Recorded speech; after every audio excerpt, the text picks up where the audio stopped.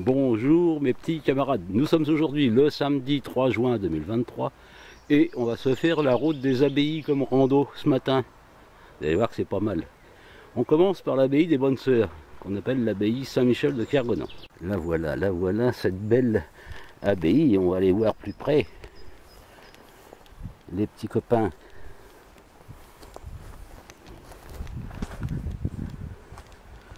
Ah ouais, toi? Ça, c'est purement magnifique. Ça, c'est de l'architecture.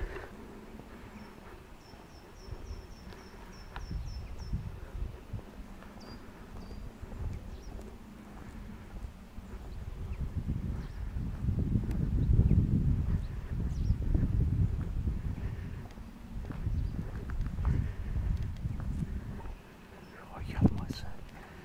Regarde-moi ça. Non mais regarde-moi ça quoi. Ça c'est de l'architecture les copains. Alors Saint-Michel de Kergonan ce sont les sœurs. Et là on va aller à Sainte-Anne de Kergonan. Ce sont des bénédictins.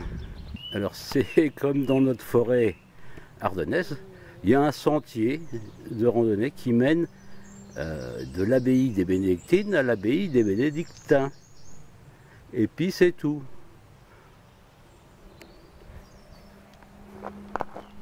Voilà.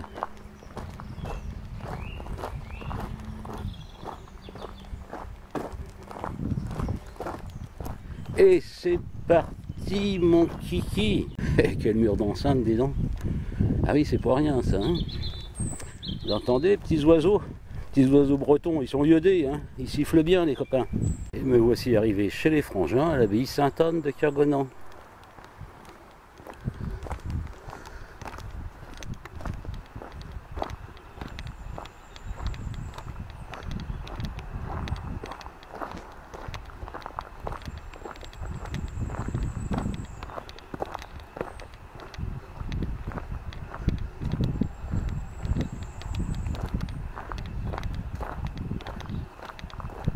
Voilà notre belle forêt bretonne qui n'a rien à envier à notre belle forêt ardennaise.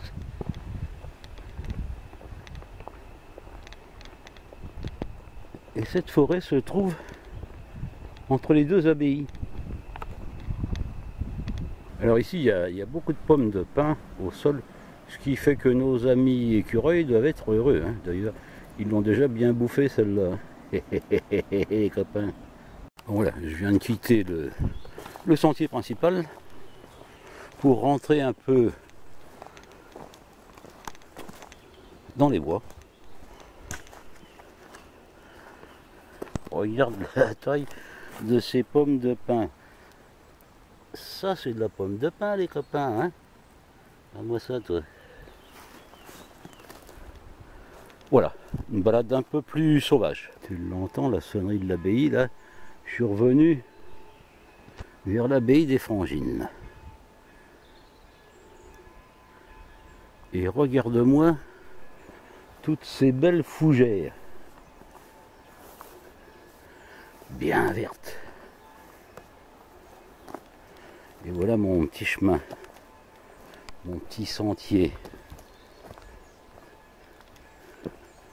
Donc petit sentier qui est en parallèle de, de l'abbaye des Bonnes Sœurs. Vraiment un très joli petit sentier. Avec des petits oiseaux qui chantent. Le merle. C'est